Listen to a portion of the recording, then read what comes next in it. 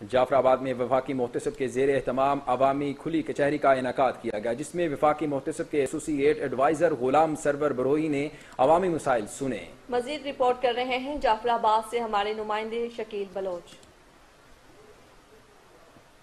District council hall Dera لایار میں وفاقی محتسب کی جانب سے عوامی مسائل سننے کے لیے کلی کچہری کا اہتمام کیا گیا، جس میں ضلع کے افیسران، شہریوں اور صحافیوں نے شرکت کی۔ اس موقع پر وفاقی محتسب کے ایسوسی ایٹ ایڈوائزر غلام سرور بروئی نے عوامی مسائل سنے۔ کلی کچہری میں وفاقی محتسب کے ایسوسی ایٹ ایڈوائزر کے سامنے شہریوں نے شکایات کے انبار لگا دیے۔ شہریوں نے شکایت پیش کرتے ہوئے کہا کہ جعفر آباد میں کوئی بھی ادارہ سنجیدگی سے کام نہیں کر رہا ہے۔ عوام جانوروں جیسی زندگی گزارنے پر مجبور ہیں۔ اگر کوئی اپنے حقوق کی بات کرتا ہے تو ان کے خلاف انتقامی کاروائی کی جاتی ہیں جہاں ہمارے ساتھ ظلم ہے۔